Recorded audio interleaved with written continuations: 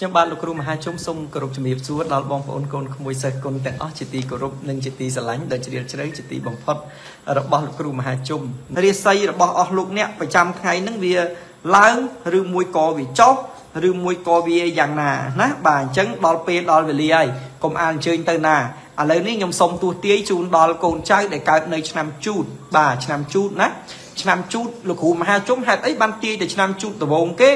អានឹងវាធ្វើម៉េចលក្ខខណ្ឌធម្មជាតិវាចេញមកអញ្ចឹងបើឆ្នាំជូតឆ្នាំដំបូងគេ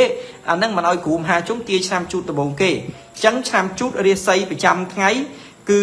មធ្យមស្អែកនឹងណាលេខសំណាង គឺលេខ917ពណ៌សំណាងគឺពណ៌សបាទរាសីគឺមធ្យមណាឆ្នាំជូតអញ្ចឹងលោកអ្នកដែលកើតនៅឆ្នាំជូតសូមលោកអ្នកខមមិនលេខ917ហើយ share នៅវីដេអូលោកគ្រូដាក់លេខ917 ហើយស្អែកបើសិនជាអាចលោកអ្នកដែលកើតឆ្នាំជូតសូមពាក់អាវពណ៌សណាសូមពាក់អាវពណ៌សណាបាទកូនចៅដែលកើតឆ្នាំជូតអញ្ចឹងលោកអ្នកដែលកើតឆ្នាំជូតលេខសំណាងគឺលេខអឺ917ពណ៌សំណាងពណ៌សសូមឲ្យកូនចៅដែលកើតឆ្នាំជូតខមមិនលេខ917ហើយ share នៅវីដេអូលោកគ្រូដាក់លេខ917ពណ៌សំណាងគឺពណ៌ស លោកអ្នកដែលកើតនៅឆ្នាំជូតនៅថ្ងៃស្អែកនេះគឺកិច្ចការងារលក់ដូររកស៊ីប្រកបអាជីវកម្មផ្សេងផ្សេងគឺបានល្អប្រសើរបាទបានល្អប្រសើរគឺលក់ដាច់ហើយក៏ធ្វើការអីគឺល្អណាទាំងអ្នកធ្វើការទាំងអ្នកលក់ដូររកស៊ីទាំងអ្នកធ្វើអីក៏ដោយគឺថាល្អជោគជ័យហើយក៏សบายចិត្តហើយក៏រីករាយហើយក៏ ជោគជ័យរីកចម្រើនណាបាទការងារលក់ដូររកស៊ីការងារប្រកបរបរអាជីវកម្មអីទាំងអស់ហ្នឹងគឺរលូនជោគជ័យឆ្នាំជូតអត់មានអីទេប៉ុន្តែ មានចំណុចមួយចំនួន ដែលត្រូវឲ្យមានការប្រុងប្រយ័ត្នសម្រាប់កូនចៅដែលកើតនៅឆ្នាំជូតបាទមានការប្រយ័ត្នដែរណាមិនមែនអត់ប្រយ័ត្នទេអ្នកដែលកើតឆ្នាំជូតនៅថ្ងៃស្អែកនេះគឺសូមឲ្យមានការប្រុងប្រយ័ត្នប្រយ័ត្នគឺប្រយ័ត្នមានរឿងក្តៅក្រហាយប្រយ័ត្នមានរឿងក្តៅក្រហាយកើតឡើង បាទប្រយ័ត្នមានរឿងក្តៅក្រហាយកើតឡើងនៅក្នុងក្រុមគ្រួសារឬមួយក៏ក្តៅក្រហាយចំពោះខ្លួនឯងអញ្ចឹងស្អែកយកធរតិចធរខន្តីយកមកដាក់នៅក្នុងខ្លួនកុំតវ៉ាកុំតបតខ្លាចរឿងតូចប្រែទៅជារឿងធំក្រែងមានបញ្ហាណាមួយកើតឡើងក្រែងមានរឿងរ៉ាវកើតឡើង ដែលយើងនឹកស្មានមិនដល់អញ្ចឹងកូនចៅដែលកើតនៅឆ្នាំជូតនឹង គឺសូមលោកអ្នកប្រយ័ត្នប្រយែងប្រយ័ត្នមានរឿងក្តៅក្រហាយកើតឡើងនៅក្នុងក្រុមគ្រួសារប្រយ័ត្នមានរឿងក្តៅក្រហាយកើតឡើងនៅក្រុមគ្រួសារប្រយ័ត្នឲ្យមែនតែនណាបាទអញ្ចឹងតិចចិត្តអញ្ចឹងធ្វើម៉េចតិចចិត្តណាកុំចិត្តក្តៅតែចិត្តក្តៅគឺអត់បានទេអញ្ចឹងសូមលោកអ្នកខមមិនលេខសំណាងគឺលេខ917ហើយ share នៅវីដេអូលោកគ្រូមហាជុំដាក់លេខ917ណាបាទ917 ហើយសូមឲ្យលោកអ្នកដែលកើតឆ្នាំជូតហ្នឹងបាទដូចខ្ញុំប្រាប់ចឹងថាប្រយ័ត្នប្រយែងបាទប្រយ័ត្នប្រយែងកុំឲ្យមានបញ្ហាណាកើតឡើងឲ្យសោះបើមានរឿងណាបំរុងឆ្លោះឲ្យអត់ទៅកុំឆ្លោះព្រោះវាអត់បានប្រយោជន៍ទេបាទវាអត់បានប្រយោជន៍កាលណាតែតែឆ្លោះវាខាតលៀបតែឆ្លោះវាខាតអឺខាតលៀបខាតហេង បាទអញ្ចឹងកុំឲ្យសោះអញ្ចឹងបន្តមកទៀតខ្ញុំសូមបញ្ចប់លោកអ្នកកើតឆ្នាំជូតត្រឹមប៉ុណ្្នឹងបាទត្រឹមប៉ុណ្្នឹងឯងឆ្នាំជូតណាជូនពរឲ្យសុខសប្បាយជូនពរឲ្យសំណាងល្អជូនពរឲ្យហេងបន្តមកទៀតខ្ញុំសូមទូទាយជូនដល់កូនចៅដែលកើតនៅឆ្នាំឆ្លូវបាទឆ្នាំឆ្លូវរាសីរបស់អស់លោកអ្នកគឺមធ្យមឆ្នាំឆ្លូវរាសីមធ្យមលេខសំណាង179បាទលេខសំណាង179ពណ៌សំណាងពណ៌ទឹកក្រូច បាទទឹកក្រូចណាបាទឆ្នាំឆ្លូវរិស័យមធ្យមលេខសំណាង179ពណ៌សំណាងគឺពណ៌ទឹកក្រូចអញ្ចឹងកូនចៅដែលកើតនៅឆ្នាំឆ្លូវសូមកូនចៅទាំងអស់ខមមិនលេខ179ហើយ share វីដេអូលោកគ្រូដាក់លេខ179បាទឆ្នាំឆ្លូវគឺរាសីរបស់អស់លោកអ្នកមធ្យមកិច្ចការងារលក់ដូររកស៊ីប្រចាំថ្ងៃ គឺ អ្នកកើតឆ្នាំឆ្លូវគឺល្អណាល្អ អត់មានបញ្ហាអីដែលរាំងស្ទះហើយក៏អត់មានបញ្ហាអីដែលធ្វើឲ្យយើងនឹងមិនសบายចិត្តមិនរីករាយហើយក៏មិនចម្រើនរុងរឿងដែរអ អញ្ចឹងលោកអ្នកដែលកើតឆ្នាំឆ្លូវរាសីមធ្យមពណ៌សំណាងពណ៌ទឹកក្រូចអញ្ចឹងលោកអ្នកកើតឆ្នាំឆ្លូវត្រូវពាក់អាវពណ៌ទឹកក្រូចណាបាទហើយបើនិយាយពីចេតារាសីរបស់អស់លោកអ្នកគឺអត់អីទេប៉ុន្តែស្អែកលោកអ្នកកើតឆ្នាំឆ្លូវនឹងត្រូវមានការប្រុងប្រយ័ត្នដែរបាទប្រុងប្រយ័ត្នដែរគឺប្រយ័ត្នឈឺបាទគឺប្រយ័ត្នឈឺ ប្រយ័ត្នឈឺណាបាទអញ្ចឹងលោកអ្នកកើតឆ្នាំឆ្លូវគឺប្រយ័ត្នឈឺហើយសុខភាពជាចម្បង អ្នកខ្លះកើតឆ្នាំឆ្លូវគឺឈឺចាប់ពីថ្ងៃនេះទៅហើយបាទឈឺចាប់ពីពេលនេះទៅហើយអញ្ចឹងលោកអ្នកដែលកើតឆ្នាំឆ្លូវគឺត្រូវតបន្តិចណាកុំឲ្យឈឺបាទថែរក្សាសុខភាពថែរក្សាការពារព្រោះឥឡូវនេះមេឃក្តៅអញ្ចឹងទៅល្ងាចឡើងភ្លៀងក្តៅអញ្ចឹងទៅគឺល្ងាចឡើងភ្លៀង ដល់ពេលអញ្ចឹងទៅធ្វើឲ្យវាអាកាសធាតុមានការប្រែប្រួលហើយខ្លួនប្រាណយើងវាមិនទាន់សមវាអាចធ្វើឲ្យយើងនឹងឈឺអញ្ចឹងយើងត្រូវប្រយ័ត្នប្រយែងកុំឲ្យឈឺណាលោកអ្នកកើតឆ្នាំឆ្លូវគឺសូមឲ្យការពារតែម្យ៉ាងគត់នៅថ្ងៃស្អែកហ្នឹងគឺអឺកុំឲ្យឈឺកុំឲ្យឈឺណាបាទដូចខ្ញុំតែងតែនិយាយប្រាប់កូនសិស្សខ្ញុំប្រាប់កូនក្មួយខ្ញុំថាកូនធ្ងន់ទូលរែកឪពុកជួយលើកកូនបានណា ធ្ងន់ទូលរែកឪពុកជួយលើកកូនបានកូនក្រឪពុកជួយអឺឲ្យកូនមានបានឲ្យជាលុយជួយទំនប់បំរុងបានធ្ងន់ទូលរែកជួយបានប៉ុន្តែបើកូនឈឺឪពុកជួយកូនអត់បានទេអញ្ចឹងកូនត្រូវថែរក្សាសុខភាពខ្ញុំតែងប្រាប់អញ្ចឹងបាទទី1កុំផឹកស្រាកុំផឹកស្រាទី2កុំ ធ្វើអីហួសប្រមាណស៊ីក៏កុំឲ្យឆ្អែតពេកណាអត់មែនស៊ីឆ្អែតហល់ទេណាស៊ីឆ្អែតហល់ធាត់តែធាត់មានប្រឈមឯទឹកនោមផ្អែមលើសឈាមណាឡើងជាតិអាស៊ីតអីហ្នឹងអ្នកផឹកអ្នកស៊ីហ្នឹងអញ្ចឹងបានខ្ញុំផ្ដាំខ្ញុំថាធ្ងន់ទូលេខឪអឺឪជួយបានប៉ុន្តែបើសិនជាធ្ងន់ ដោយសារជំងឺអានឹងជួយអត់បានទេយកទៅពេទ្យក៏មិនមែនជួយបានដែរអ្នកខ្លះយកទៅពេទ្យបលឋានប្រអិនក៏នៅតែខ្សែជីវីដែរអញ្ចឹងត្រូវប្រយ័ត្នរឿងសុខភាពណាខ្ញុំសូមរំលឹករឿងនឹងបន្តិចបាទអញ្ចឹងបន្តមកទៀតណាលោកអ្នកកើតឆ្នាំខាលខាលរាសីរបស់អស់លោកអ្នកមធ្យមបាទរាសីមធ្យមលេខសំណាង615ពណ៌សំណាងពណ៌ស៊ីលៀបអញ្ចឹងលោកអ្នកកើតឆ្នាំខាលនៅថ្ងៃស្អែកនេះសូមឲ្យលោកអ្នកខមមិននៅលេខសំណាងទៅបាទ គឺលេខ615ហើយពាក់អាវពណ៌ស៊ីលៀបណាពណ៌ស៊ីលៀបបងប្អូនមួយចំនួនគឺមិនទាន់ស្គាល់ពណ៌ស៊ីលៀបទេ បាទពណ៌ស៊ីលៀបហ្នឹងបងប្អូនពណ៌ស៊ីលៀបខ្ញុំពិបាកបរិយាយរឿងពណ៌ទៀតណាវាលឿងស្រាល បាទស្តៀងលឿងស្តៀងអីចឹងណាស៊ីលៀបហ្នឹងបាទមិនដឹងស្អីប្រកបតែខ្ញុំនឹងវាពិបាកនិយាយដែរវាស្តៀងលឿងលឿងបន្តិចតបែកព្រៃបន្តិចបាទហើយជាតបែកព្រៃច្រើនជាងអញ្ចឹងលោកអ្នកកើតឆ្នាំខាល រាសីមធ្យមលេខសំណាង615ពណ៌សំណាងគឺពណ៌ស៊ីលៀបអញ្ចឹងកូនចៅដែលកើតនៅ ឆ្នាំខាលនឹងសូមឲ្យលោកអ្នកខមមិនលេខ615បាទ share វីដេអូលោកគ្រូដាក់លេខ615រាសីរបស់លោកអ្នកមធ្យមលោកអ្នកកើតឆ្នាំខាលនៅថ្ងៃស្អែកនេះគឺកិច្ចការងារលក់ដូររកស៊ីអីគឺល្អជោគជ័យបាទល្អជោគជ័យ រឿងរ៉ាវផ្សេងផ្សេងគឺអត់មានបញ្ហាអីទេ ការងារលក់ដូររកស៊ីប្រកបរបរអាជីវកម្មលក់ចេញទិញចូលអីលោកអ្នកកើតឆ្នាំខាលហ្នឹងគឺល្អអត់អីទេប៉ុន្តែថ្ងៃស្អែកសុំចិត្តណាគឺអឺលេខគេថាប្រយ័ត្នមានចំនួនលេខគេថាប្រយ័ត្នមានចំនួនណាបាទចំនួនឆ្លោះទាស់តែងគ្នាចំនួនរឿងអីក៏ដោយចំនួនអាចមានចំនួនស្អែកហ្នឹងបាទ គេលោតទៅជប់លៀងទៅផឹកស៊ីទៅវាប្រកែកគ្នាទៅនិយាយទៅប៉ះសម្ដីគ្នាទៅវាអាចឆ្លោះប្រកែកគ្នាអញ្ចឹងថ្ងៃស្អែកហ្នឹងគឺសូមឲ្យកូនចៅដែលកើតនៅឆ្នាំខាលហ្នឹងគឺប្រយ័ត្នរឿងចំនួនបាទប្រយ័ត្នប៉ុន្តែមិនមែនចំនួនក្តៅក្រហាយនៅក្នុងក្រុមគ្រួសារទេ គឺចំនួនក្រៅផ្ទះបាទអញ្ចឹងបានន័យថានៅកន្លែងធ្វើការឬមួយការជួបជុំមិត្តភ័ក្តិម្នាក់ខ្លើយហ្នឹងគេលោមានបងគេមានជប់លៀងមានផឹកមានស៊ី ឬមួយក៏និយាយគ្នានិយាយចុះនិយាយឡើងរឿងតូចវាទៅជារឿងធំបាទរឿងតូចទៅជារឿងធំអញ្ចឹងកូនចៅទាំងអស់សូមឲ្យមានការប្រយ័ត្នប្រយែងរឿងចំនួនឆ្លោះទាស់តែងគ្នានៅថ្ងៃស្អែកនេះបាទអញ្ចឹងប្រយ័ត្នណា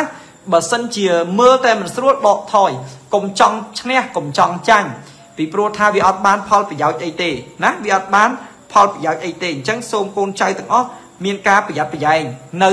រឿងទាំងអស់នេះឲ្យឲ្យល្អណាបាទឲ្យល្អបើមិនអញ្ចឹងទេគឺមិនល្អទេ បាទមិនល្អទេណាប្រយ័ត្នឲ្យមែនទេរឿងចំនួនអញ្ចឹងកូនចៅកើតឆ្នាំខាលរាសីមធ្យមលេខសំណាងគឺ615ពណ៌សំណាងពណ៌ស៊ីលៀបណាបាទជូនពរឲ្យសុខសប្បាយជូនពរឲ្យល្អឲ្យជោគជ័យបន្ទាប់មកទៀតខ្ញុំសូមទស្សទាយជូនដល់កូនចៅដែលកើតនៅឆ្នាំថោះ បាទឆ្នាំថោះណាឆ្នាំថោះរាសីរបស់អស់លោកអ្នកគឺឡើងខ្ពស់ត្រដែតស្អែកស្អែករាសីឆ្នាំថោះឡើងខ្ពស់ត្រដែតលេខសំណាងគឺលេខ762ពណ៌សំណាងគឺពណ៌ក្រហមអញ្ចឹងកូនចៅដែលកើតនៅឆ្នាំថោះសូមកូនចៅខមមិននៅលេខសំណាងរបស់យើងគឺលេខ762បាទលេខ762ពណ៌សំណាងគឺពណ៌ក្រហមអញ្ចឹងនៅថ្ងៃស្អែកនេះ កិច្ចការងារអាជីវកម្មលក់ដូរ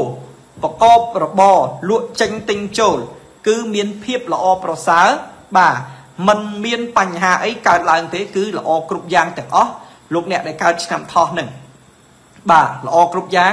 លក់ដូររកស៊ីប្រកបរបរអាជីវកម្មលក់ចេញទិញចូលការងារអីទាំងអស់សម្រាប់លោកអ្នកដែលកើតនៅឆ្នាំរោងហ្នឹងគឺល្អណាអត់មានបញ្ហាអីដែលរាំងស្ទះ អត់មានបញ្ហាអីដែលមិនល្អហើយក៏អត់មានបញ្ហាអីដែល ធ្វើឲ្យលោកអ្នកពិបាកចិត្តធ្វើឲ្យលោកអ្នកកើតទុកធ្វើឲ្យលោកអ្នកមានអីទេគឺអត់ត្រូវប្រយ័ត្នអីទេស្អែកនេះគឺល្អគ្រប់យ៉ាងសម្រាប់លោកអ្នកដែលកើតនៅឆ្នាំថោះអញ្ចឹងសូមជូនពរឲ្យកូនចៅដែលកើតនៅឆ្នាំថោះនឹងឲ្យជួបប្រទះ តែនឹងសេចក្តីសុខសេចក្តីចម្រើនហេងហេងកុំភ្លេច comment លេខ762 share នៅវីដេអូលោកគ្រូដាក់លេខ762ណាជូនពរឲ្យជោគជ័យជូនពរឲ្យរីកចម្រើនជូនពរឲ្យល្អណាបាទបន្ទាប់មកទៀតលោកគ្រូមហាជុំសូមទួទាជូនដល់កូនចៅដែលកើតនៅឆ្នាំរោងរោងរាសីរបស់អស់លោកអ្នកក៏ឡើងខ្ពស់ទៅដែរដែររោងរាសីរបស់អស់លោកអ្នកក៏ឡើងខ្ពស់ទៅដែរដែរណាបាទឆ្នាំរោងរាសីគឺឡើងខ្ពស់ទៅដែរបាទ ហើយលេខសំណាងសម្រាប់លោកអ្នកដែលកើតឆ្នាំរោងគឺលេខ482បាទលេខ482ចំណែកឯពណ៌សំណាងសម្រាប់លោកអ្នកដែលកើតនៅ ឆ្នាំរោងគឺពណ៌ផ្កាឈូកណាពណ៌ផ្កាឈូកពណ៌ផ្កាឈូកណាលោកអ្នកដែលកើតនៅឆ្នាំរោងអញ្ចឹងលោកអ្នកដែលកើតនៅឆ្នាំរោងស្អែកនេះសូមខមមិនលេខសំណាងលេខ482ហើយពណ៌សំណាងពណ៌ផ្កាឈូក កិច្ចការងារលក់ដូររកស៊ីប្រកបរបរអាជីវកម្មផ្សេងផ្សេងសម្រាប់លោកអ្នកកើតឆ្នាំរោងគឺល្អប្រសើរអត់មានការអីដែលរាំងស្ទះអត់មានការអីដែលមិនល្អអត់មានការអីដែលមិនជោគជ័យទេបាទគឺល្អគឺរលូនគឺធ្វើអីក៏សំប្រកបដែរធ្វើអីក៏ចម្រើនរុងរឿងដែរណាបាទលោកអ្នកដែលកើតនៅឆ្នាំជូតនឹងគឺល្អប្រសើរហើយក៏ជោគជ័យហើយក៏រីករាយដែរអត់មានអីដែលមិនល្អអត់មានអីដែលកើតទុកទេ គឺល្អណាស់បាទអញ្ចឹងសូមជូនពរឲ្យកូនចៅដែលកើតនៅឆ្នាំរោងនេះដែលមានលេខសំណាង482លេខសំណាង482ពណ៌សំណាងពណ៌ផ្កាឈូកនឹងជូនពរឲ្យកូនចៅទាំងអស់បាទបានចម្រើនរុងរឿងបានជោគជ័យបានអីក៏ល្អល្អគ្រប់យ៉ាងណាបាទអញ្ចឹងសូមជូនពរឲ្យហេងជូនពរឲ្យជោគជ័យកុំភ្លេច comment លេខសំណាង482 share វីដេអូលោកគ្រូមហាជុំដាក់លេខ482បន្តមកទៀត លោកគ្រូសុំទូទាយឲ្យកូនចៅបន្តទៀតណាបាទបន្តទៀតគឺកូនចៅដែលកើតនៅឆ្នាំម្សាញ់លោកអ្នកដែលកើតឆ្នាំម្សាញ់រាសីមធ្យមបាទរាសីមធ្យមលេខសំណាងលេខសំណាងគឺលេខ394 394ពណ៌សំណាងសម្រាប់លោកអ្នកដែលកើតនៅឆ្នាំម្សាញ់បាទពណ៌សំណាងសម្រាប់លោកអ្នកដែលកើតនៅឆ្នាំម្សាញ់ គឺពណ៌បៃតងបាទគឺពណ៌បៃតងអញ្ចឹងលោកអ្នកដែលកើតនៅឆ្នាំម្សាញ់រាសីមធ្យមលេខសំណាង394ពណ៌សំណាងពណ៌បៃតងស្អែកនេះគឺលោកអ្នកដែលធ្វើកិច្ចការងារអីគឺភាកច្រើនគឺរលូនភាកច្រើនគឺរលូនអត់មានបញ្ហាអីដែលដែលធ្វើឲ្យកូនចៅមិនសប្បាយចិត្តទេ បាទការងារលក់ដូរអីរកស៊ីអីគឺល្អណាគឺល្អគ្រប់យ៉ាង ប៉ុន្តែបងប្អូនកលេចមករឿងរ៉ាវដែលត្រូវប្រយ័ត្នវិញគឺស្អែកនឹងគឺត្រូវមានគេចាប់កំហុសស្អែកហ្នឹងត្រូវមានគេចាប់កំហុសណាស្អែកហ្នឹងគឺត្រូវមានគេចាប់កំហុសហើយអញ្ចឹងលោកអ្នកត្រូវប្រយ័ត្នពីព្រោះថាមនុស្សយើងតែគេចាំចាប់កំហុសហើយគឺយើងធ្វើអីក៏មិនត្រូវដែរគឺយើងធ្វើអីក៏អត់ត្រូវដែរធ្វើអីក៏ខុសដែរអញ្ចឹងបើសិនជា មានគេតាមចាប់កំហុសហើយគឺធ្វើអីក៏ខុសដែរអញ្ចឹងបងប្អូនដែលកើតនៅ ឆ្នាំម្សាញ់ស្អែកហ្នឹងគឺត្រូវប្រុងប្រយ័ត្នហើយត្រូវប្រុងធៀបខ្លួនកុំឲ្យមានចំណុចខ្សោយត្រូវធៀមខ្លួនកុំឲ្យមានគេហៅថាចំណុចខ្សោយដែលគេអាចសកត់យើងបានបើដឹងតែគេចាំចាប់កំហុសយើងហើយយើងប្រឹងប្រែងធ្វើការយើងប្រឹងប្រែងរកស៊ីយើងប្រឹងប្រែងប្រកបនៅកិច្ចការងារអីដែលល្អគឺអត់មានអ្នកណាមកចាប់កំហុសយើងបានទេ ប៉ុន្តែបើយើងមានចំណុចខ្សោយហើយគឺគេចាប់យើងហើយបាទប៉ុន្តែបើសិនជាយើងមានចំណុចខ្សោយហើយ គឺគេចាប់យើងហើយអញ្ចឹងតែគេចាប់ហើយគឺខុសហើយអត់មានអីណាអីណីទៅវែងឆ្ងាយទៅឆ្វេងទៅស្ដាំទេអញ្ចឹងបងប្អូនត្រូវមានការប្រយ័ត្នប្រយែងនៅរឿងទាំងអស់នេះត្រូវមានការប្រយ័ត្នប្រយែងកុំឲ្យមានគេ ចាប់កំហុសណាកុំឲ្យមានគេចាប់កំហុសដូចខ្ញុំនិយាយអញ្ចឹងតែរឿងគេចាប់កំហុសគេចាប់ហើយប៉ុន្តែយើងព្យាយាមកុំឲ្យកុំឲ្យមាននេះហ่ะកុំឲ្យមានចំណុចខ្សោយឲ្យគេចាប់អីអញ្ចឹងវាអត់អីទេវារលូនហើយប៉ុន្តែបើសិនជាធ្វើអីខ្ជះខ្ជាអាហ្នឹងគេចាប់កំហុសគឺខុសហើយណាបាទប្រយ័ត្នប្រយែងឲ្យមែនតែនបន្ទាប់មកទៀតគឺខ្ញុំសូមទូទាយជូនជូនដល់ បងប្អូនកូនក្មួយដែលដែលកើតនៅឆ្នាំនេះម្ដងឆ្នាំមមីបាទមមីរាសីរបស់អស់លោកអ្នកគឺរាសីលោកអ្នកដែលកើតនៅឆ្នាំមមីហ្នឹងនៅថ្ងៃស្អែកហ្នឹងរាសីរបស់លោកអ្នកក៏មធ្យមដែររាសីលោកអ្នកដែលកើតឆ្នាំមមីហ្នឹងបាទក៏មធ្យមដែរហើយលេខសំណាងគឺលេខ239ពណ៌សំណាងពណ៌ប្លែកណាពណ៌ប្លែកគឺខ្មៅបាទពណ៌ប្លែកគឺពណ៌ខ្មៅ អញ្ចឹងលោកអ្នកដែលកំពុងតែកើតឆ្នាំមមីបាទលោកអ្នកកំពុងតែកើតឆ្នាំមមីហ្នឹងគឺសូមឲ្យកូនចៅទាំងអស់បាទដែលតាមដានទស្សនាហ្នឹង comment លេខ239 share នៅវីដេអូលោកគ្រូដាក់លេខ239 239ហើយពណ៌សំណាងគឺពណ៌ខ្មៅសម្រាប់កូនចៅដែលកើតនៅឆ្នាំមមីថ្ងៃស្អែកនេះកុំទៅណាឆ្ងាយណាបាទថ្ងៃស្អែកនេះកុំទៅណាឆ្ងាយ ហាមទៅឆ្ងាយបាទប្រយ័ត្នតែថាធ្វើដំណើរផ្លូវឆ្ងាយអីគឺហាមបន្តិចអីឆ្នាំមមីលេខអត់ល្អទេលេខគេបានផ្ដាំថាមិនឲ្យយើងធ្វើដំណើរទៅផ្លូវឆ្ងាយទេអញ្ចឹងបើសិនជាកូនធ្វើដំណើរទៅផ្លូវឆ្ងាយអានឹងត្រូវមានការប្រយ័ត្នប្រយែងបន្តិចបាទអត់ល្អទេអញ្ចឹងហាមលេយ៉ាងម៉េចកុំធ្វើដំណើរផ្លូវឆ្ងាយអីទៅណាទៅចិត្តចិត្តទៅបាទបើមិនបើមិនចាំបាច់អានឹងផ្អាក ជិះកង់ផ្អាកជិះម៉ូតូសិនទៅ នៅសំងំនៅផ្ទះមួយថ្ងៃទៅ បាទពីព្រោះវាអត់បានផលចំណេញ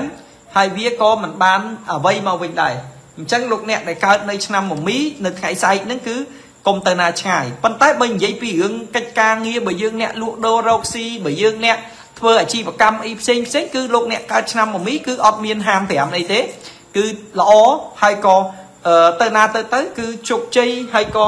រីកចម្រើនរកស៊ីអីចឹងទៅប៉ុន្តែតอมតែម្យ៉ាងទេគឺកុំធ្វើដំណើរទៅផ្លូវឆ្ងាយអីកុំធ្វើដំណើរទៅផ្លូវឆ្ងាយអីណាបាទវាអត់មានភាពល្អប្រសើរសម្រាប់យើងទាំងអស់គ្នាទេអញ្ចឹងខ្ញុំសូមជូនពរឲ្យកូនចៅទាំងអស់ឲ្យមានភាពរីចម្រើនឲ្យលក់ដូរដាច់ឲ្យរកស៊ីមានបានឲ្យតិចជុំឲ្យជោគជ័យឲ្យរីកចម្រើនទាំងអស់គ្នាណាបាទសូមគោរពជូនពរកូនចៅទាំងអស់គ្នាពីចម្ងាយ ពីចម្ងាយណាបាទឲ្យល្អឲ្យជោគជ័យឲ្យឲ្យរីកចម្រើនអញ្ចឹងឆ្នាំមមែរាសីមធ្យមពណ៌សំណាងពណ៌លឿងលេខសំណាង529អញ្ចឹងកូនចៅដែលកើតនៅឆ្នាំមមែសូមកូនចៅបាទ comment លេខ529ហើយ share នៅវីដេអូលោកគ្រូមហាជុំដាក់លេខ529បាទដាក់លេខ529ណាអ្នកកើតឆ្នាំមមែអញ្ចឹងលោកអ្នកដែលកើតនៅឆ្នាំអឺមមែ រាសីរបស់អស់លោកអ្នកគឺមមែរាសីមធ្យមការងារលក់ដូររកស៊ីប្រកបរបរអាជីវកម្មផ្សេងផ្សេងគឺអត់មានបញ្ហាទេគឺរលូនណាមានមួយមានភៀវមានអតិថិជនមកច្រើនប៉ុន្តែលោកអ្នកកើតឆ្នាំមមែគឺត្រូវប្រយ័ត្នសុខភាពលោកអ្នកកើតឆ្នាំមមែត្រូវប្រយ័ត្នសុខភាពបាទប្រយ័ត្នសុខភាពណាព្រោះថា សុខភាពលោកអ្នកដែលកើតនៅឆ្នាំមួយម៉ែនហ្នឹងគឺស្អែកអត់សូវល្អទេប្រយ័ត្នឈឺបាទប្រយ័ត្នឈឺណាអ្នកកើតឆ្នាំមួយម៉ែនត្រូវថែទាំសុខភាពឲ្យមែនតែន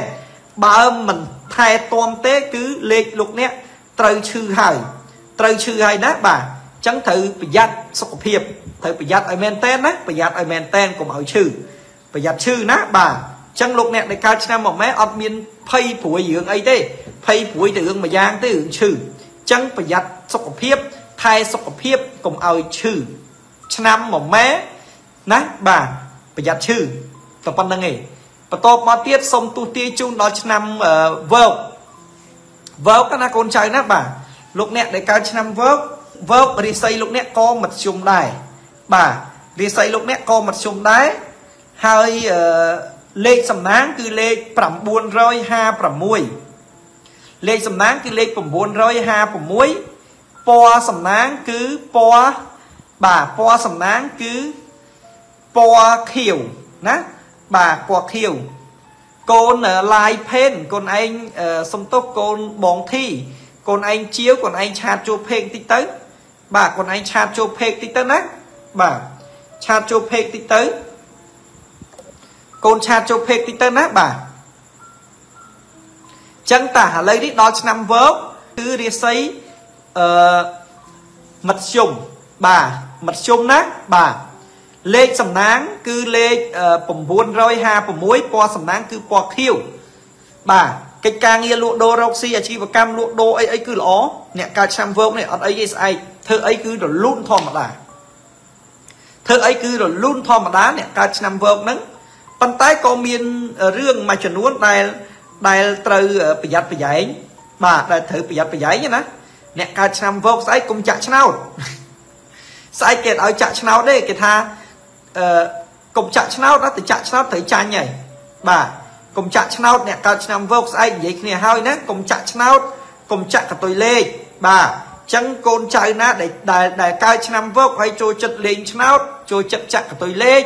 ចូលចិត្តលេងលបែងស៊ីសងលេងភ្នាល់លេងអីហ្នឹងគឺហាមបាច់ខាតអត់ឲ្យទេ ពីព្រោះថារាសីរបស់យើងអ្នកកើតឆ្នាំវោកស្អែកហ្នឹងគឺតែចាក់តែភ្នាល់ចាញ់គេតែចាក់តែភ្នាល់គឺចាញ់គេហើយចឹងស្អែកលេងយ៉ាងម៉េចគឺហាមកុំចាក់កុំភ្នាល់កុំអីទាំងអស់ណាបាទបើសិនទៅហ៊ានតែចាក់ហ៊ានតែភ្នាល់ហ្នឹងគឺចាញ់គេហើយបាទគឺมันល្អទេឈុនបូរា ខ្សែកលោកគ្រូយកមកលក់ដាច់សាហាវណាស់ខ្សែកកញ្ជ្រោងហ្នឹងបាទគឺបកែស័ក្តិសិទ្ធមែនបាទបកែស័ក្តិសិទ្ធណាស់កូនគឺបកែមែនតែនខ្សែកហ្នឹងមានអាចជាវបានណាបុរាណណាមានមួយខ្សែ35ខ្សែកកញ្ជ្រោងបាទជាវបានអញ្ចឹងឥឡូវនេះខ្ញុំសូមទួទាយជូនបន្តទៀតបាទមិញនេះចូលដល់ឆ្នាំវើកគឺតមមិនអោយចាក់ឆ្នោតកុំចាក់ឆ្នោតបាទ កុំឲ្យចាក់ឆ្នោតតែចាក់ឆ្នោតគឺมันបានទេចាក់ឆ្នោតដឹងថាខុសហើយ បាទតែខុសហើយគឺអស់លុយហើយអស់លុយហើយគឺមិនដឹងបានណាអីជួយណាទេអស់លុយឯងបានណាជួយទៀតបាទចឹងចឹងឥឡូវនេះគឺសុំឲ្យទូទាយឲ្យកូនចៅដែលកើតនៅឆ្នាំរកាម្ដង បាទលោកអ្នកដែលកើតឆ្នាំរការាសីរបស់លោកអ្នកឡើងខ្ពស់តដែតស្អែកស្អែកអ្នកកើតឆ្នាំរកាឡើងខ្ពស់តដែត លេខសំណាង438ពណ៌សំណាងពណ៌ទឹកមាសបាទលេខសំណាងលេខ438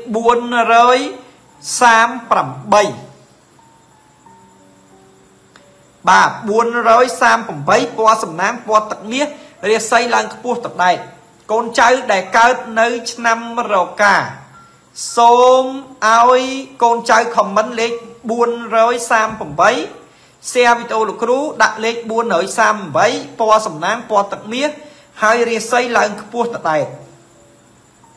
កិច្ចការងារលក់ដូររកស៊ីសម្រាប់លោកអ្នកកើតឆ្នាំរកាគឺស្អែកនេះល្អណាស់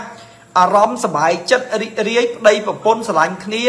មានលៀបមានជ័យយោគយល់គ្នាផ្អែមល្ហែមជាមួយគ្នាធ្វើអីក៏កាក់កបធ្វើអីក៏រីករាយធ្វើអីក៏ជោគជ័យអញ្ចឹងថ្ងៃស្អែកនេះគឺចម្រើនរុងរឿង ធ្វើអីក៏ល្អដែរណាអត់មានបញ្ហាអីដែលមករៀងរាដែលឲ្យយើងនឹងឈឺក្បាលវិលមុខអីអត់ទេអញ្ចឹងកូនចៅដែលកើតនៅឆ្នាំរកាហ្នឹងសូមខមមិនលេខ438ហើយ share វីដេអូលោកគ្រូដាក់លេខ438ណាស្អែកហ្នឹងគឺហេងហេង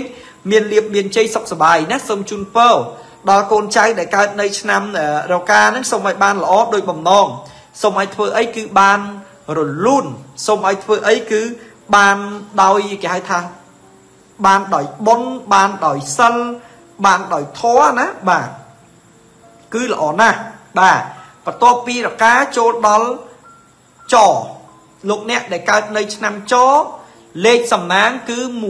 144ឆ្នាំចលេខសំណាង144ពណ៌សំណាងគឺពណ៌ផ្ទៃមេឃបាទរិស័យឡើងខ្ពស់ត្រដែតលោកអ្នកដែលកើតនៅឆ្នាំ ចគឺរាសីរបស់អស់លោកអ្នកឡើងខ្ពស់ត្រដែតណាស្អែកនឹងឡើងខ្ពស់បាទលេខសំណាង144ពណ៌សំណាងពណ៌ផ្ទៃមេឃរាសីឡើងខ្ពស់កិច្ចការងារលក់ដូររកស៊ីប្រកបរបរអាជីវកម្មផ្សេងផ្សេងសម្រាប់លោកអ្នកកើតឆ្នាំចនៅថ្ងៃស្អែកនេះគឺរលូនបាទរលូនណាអត់មានអីដែលអឺមិនល្អអត់មានអីដែលពិបាកចិត្តអត់មានអីដែលធ្វើឲ្យយើងរាំងស្ទះហើយអត់មានអីដែលធ្វើឲ្យយើងនឹង មិនសូវសុបាយចិត្តមិនសូវរីករាយមិនសូវគេហៅថាមិនជោគជ័យហ្នឹងបាទគឺល្អច្រើនបាទអញ្ចឹងសម្រាប់លោកអ្នកដែលកើតនៅឆ្នាំចហ្នឹងគឺថ្ងៃស្អែកហ្នឹងគឺមានលៀបមានជ័យហូរចូលហើយធ្វើអីក៏បានដែរប៉ុន្តែបើចង់បានលៀបបានជ័យកាន់តែបានហ្នឹងកុំភ្លេច comment លេខសំណាងទៅគឺលេខ144ហើយក៏កុំភ្លេច share នៅវីដេអូលោកគ្រូមហាជុំ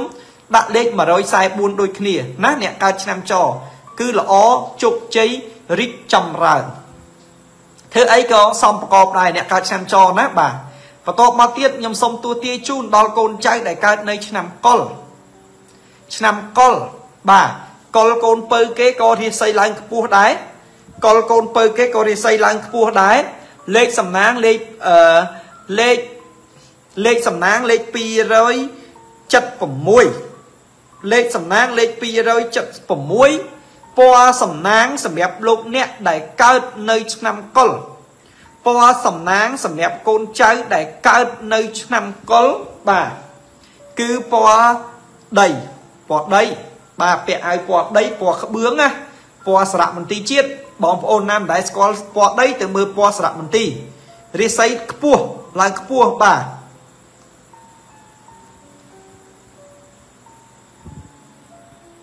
ឆ្នាំកុលរិស័យឡើងខ្ពស់ណាស់ស្អែកនឹងកកបកិច្ចការងារអីគឺរលូនមិនអីទេបាទ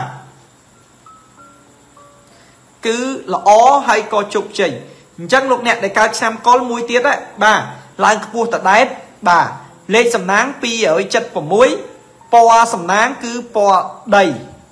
276កូនហុងលេងមិនមែន286ទេកុំឲ្យច្រឡំខមមិនម្ដងទៀតណាបាទ លោកអ្នកកើតឆ្នាំកុលលេខសំណាង276ពណ៌សំណាងពណ៌ដីរាសីឡើងខ្ពស់តដែតថ្ងៃស្អែកគឺធ្វើកិច្ចការងារអ្វីអ្វីគ្រប់យ៉ាងគឺល្អអត់មានបញ្ហាអីដែលរាំងស្ទះហើយអត់មានបញ្ហាអីដែលអឺមិនល្អមិនជោគជ័យទេ គឺមានលុយហូរចូលកាក់កបរីកចម្រើនលក់ដូរដាច់សុខសบายសំណាងល្អណាស់បាទធ្វើអីក៏ល្អធ្វើអីក៏រីកចម្រើនធ្វើអីក៏ហេង ធ្វើអីក៏ក៏ចម្រើនដែរអញ្ចឹងជូនពរដល់លោកអ្នកដែលកើតឆ្នាំកុលសូមឲ្យលោកអ្នក មានលៀបមានជ័យគឺហេងបាទអញ្ចឹងរីស័យសម្រាប់ឆ្នាំទាំង12បាទមានឆ្នាំជូតឆ្លូវខាលថោះរោង